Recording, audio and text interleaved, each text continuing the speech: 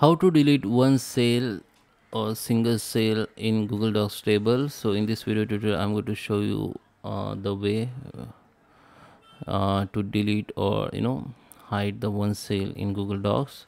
So let's start with the video guys. Before we start i request you if you like this video hit the like button subscribe my channel and don't forget comments below. So let me open google docs. Okay guys. So here um, i have the google docs and I just insert the one table to show you. Okay so I have the table here.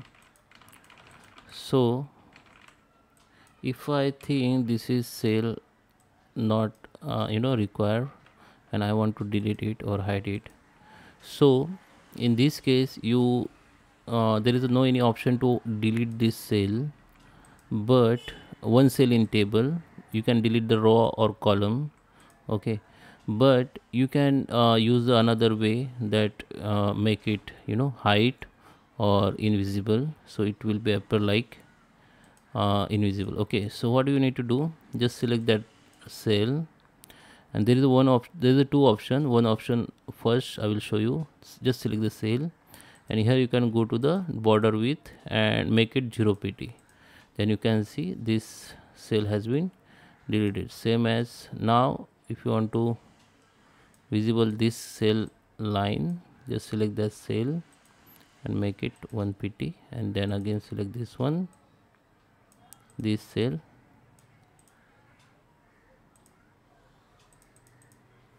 Double click on this cell it will be select.